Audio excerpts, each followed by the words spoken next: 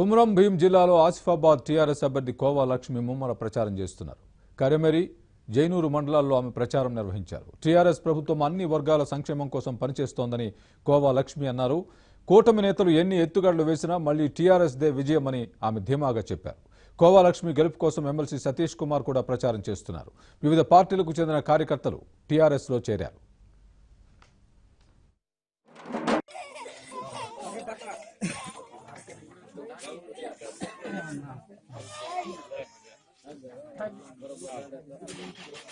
ಬರೋಬರ ಹೊಂಟ